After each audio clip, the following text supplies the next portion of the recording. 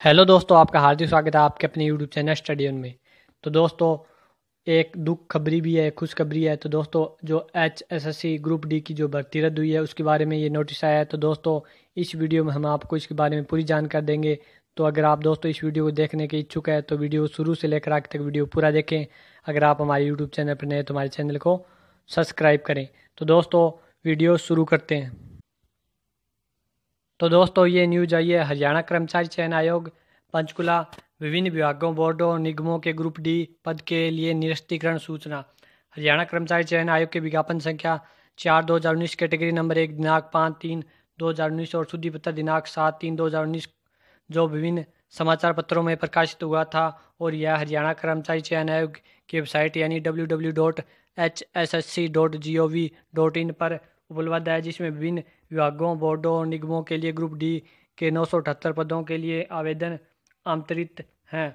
यह सभी संबंधित की जानकारी के लिए अधिसूचित है कि हरियाणा सरकार के मद्देनज़र अधिसूचना तो दोस्तों आप इसमें अधिसूचना दे सकते हैं।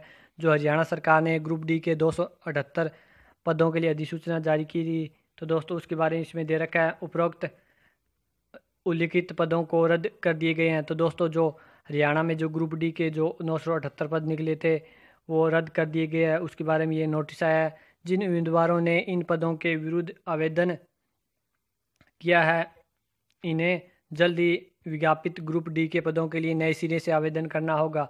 तो दोस्तों, ये एक खुशखबरी भी है कि आपको ये भर्ती यानी नए सिरे से होगी और इसमें जो आपके जो पद हैं, वो बढ़ भी सकते हैं और इसमें कैंडिडेट को दोबारा आवेदन करना पड़ेगा।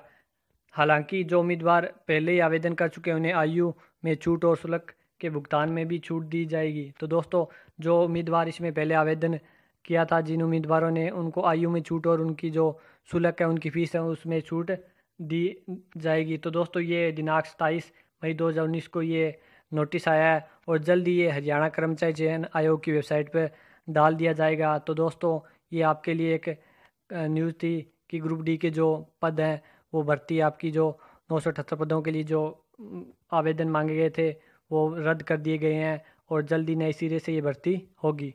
तो दोस्तों, आज की वीडियो में इतना। अगर दोस्तों आपको ये वीडियो अच्छी लगी तो लाइक करें, शेयर करें और हमारे यूट्यूब चैनल को सब्सक्राइब करें। धन्यवाद दोस्तों, मिलते हैं नेक्स्ट वीडियो में।